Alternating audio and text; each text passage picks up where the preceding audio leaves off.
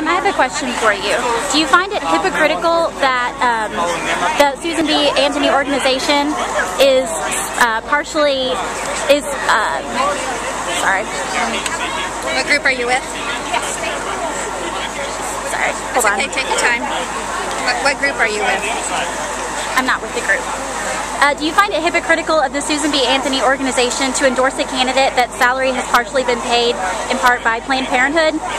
I, I have no knowledge of that. I am the executive director of Right to Life in Southwest Indiana. So you have no knowledge of Dan Coats' uh, ties to Planned Parenthood and his lobbying firm's ties to Planned Parenthood?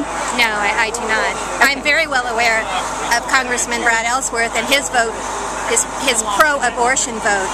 Congressman Ellsworth, when he ran for election in 2006 and re-election in 2008, ran on a pro-life platform.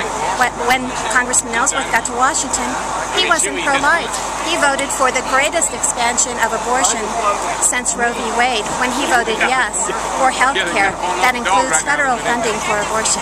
If, Thank you very if much. you did find that, if you did find that Dan Coats' um, salary had been paid partially by Planned Parenthood, would you reconsider an endorsement? We, we don't. We have not endorsed. We don't endorse candidates at Right to Life in Southwest Indiana. Thank All right, you. thank you.